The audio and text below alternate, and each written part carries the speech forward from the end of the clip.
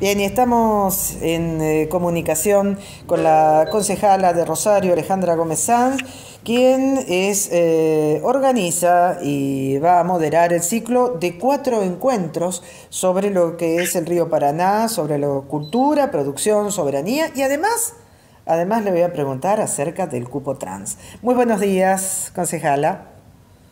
Hola, buenos días, Marta, ¿cómo estás vos? Todo bien, todo bien. Bueno, vamos a hablar un poquito qué novedades hay acerca de este cupo que fue aprobado ayer, ¿eh? Qué buena noticia. Sí, la verdad que sí, por suerte, gracias al trabajo de, tantas organizaciones y la voluntad política también, ¿no? De, del gobierno nacional decir que es ley, es un recorrido enorme que han tenido las organizaciones de, compañeras, de compañeros trans en torno a esto, porque si bien, bueno, había un decreto nacional que, que daba cuenta del cupo, establecerlo como ley es fundamental para que el día de mañana, en el caso que que asuma, como nos ha pasado en otra en otro momento histórico, un gobierno que, que no tiene consideración acerca de los derechos de la diversidad, esto no se pueda voltear así nomás, ¿no?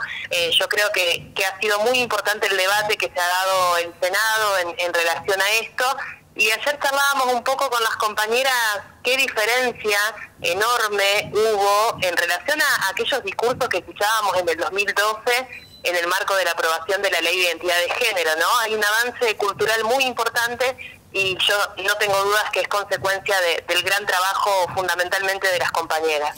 Un largo camino y qué difícil realmente haber llegado a este punto. ¿eh? ¿Merecía ser tan difícil realmente? No, no, la realidad es que no, por supuesto que no, pero bueno, sigue siendo parte fundamental de, la batalla cultural.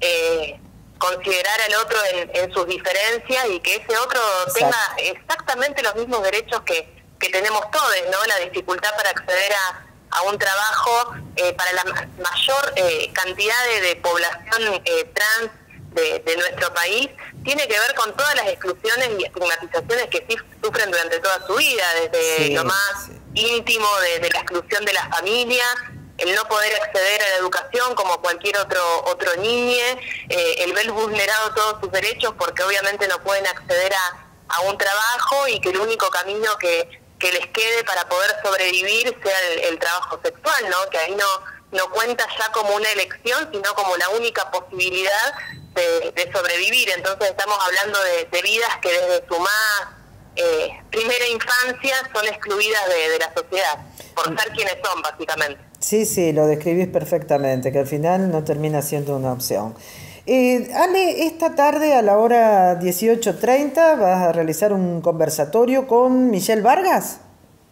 Así es, esta tarde vamos a estar con Michelle Vargas, que Michelle es una compañeraza militante, un cuadro político tremendo que tenemos en el peronismo, es parte de, la organización Comunidad Trans, trabajamos juntas hace muchos años y el conversatorio es con ella porque con ella fue con quien empecé a andar este camino también ya hace más de, 10 años de, lucha que ellas vienen llevando adelante por, por la posibilidad de, la promoción del empleo para las personas trans, ¿no? Así que vamos a charlar un poco de cupo también en el marco del mes del orgullo. Bien, bueno, esperemos que haya también eh, alguien de, los trans, que de las personas trans, que esté dentro de política y que ejerza la política. Eso estaría buenísimo, ¿eh? Una fórmula o postularse para algún lugar. Sí, de hecho las compañeras están y están hace muchísimos años militando. Yo creo que siempre falta el pasito que tenemos que dar desde, desde todos los sectores políticos para que eso sea efectivamente una posibilidad real. En el caso de Michelle es asesora mía también en el Consejo, como, como lo son otras compañeras de, de la comunidad trans y para nosotros eso fue muy importante porque realmente la, la mirada, la perspectiva que, que aportan eh, resulta luego fundamental para, para pensar nuevas normalidades, ¿no? que en el trabajo en el que estamos día a día. Me parece genial. Ale, intensa tu actividad, ¿eh? porque mañana también a la hora 18.30 vas a ser moderadora del ciclo eh, acerca de lo que es cultura, producción, soberanía, ambiente del Paraná. ¿Cómo es? Contanos un poco.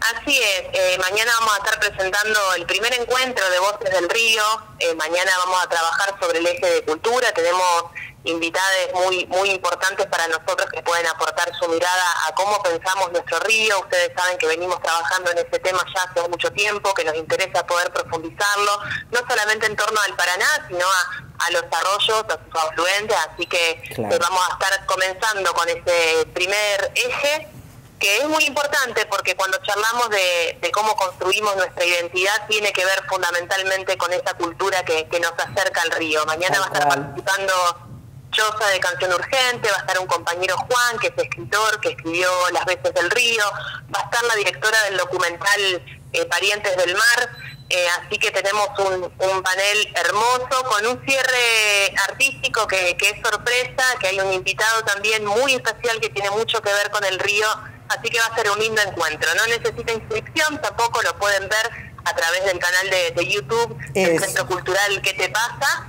y disfrutar de, ese encuentro. Dice entrega de certificados. ¿Cómo es esto, Ale? Sí, eso sí se pueden inscribir a través de las redes del ¿Qué te pasa? o del GRAL. El GRAL es el grupo de ambiente con el que estamos llevando adelante esta actividad.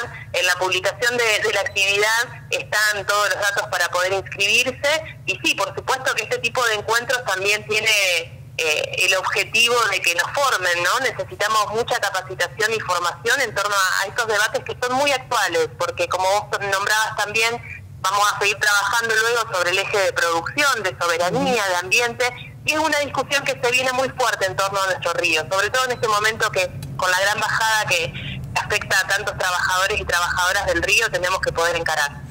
Bien, la gente, ¿tiene algún límite para inscribirse? ¿Es hasta hoy, hasta mañana o se puede inscribir en los distintos encuentros? Se puede inscribir en los distintos encuentros, no hay ningún problema con eso. Buenísimo. Ale, siguen los otros sábados, ¿no? ¿Los encuentros? Exactamente, va a ser a partir de ahora, todos los sábados, y nos quedan, eh, son cuatro ejes de trabajo, así que mañana arrancamos el primero y va a haber tres ejes más. Excelente. Bueno, realmente tu labor es espectacular. ¿eh? Muchísimas gracias, concejala.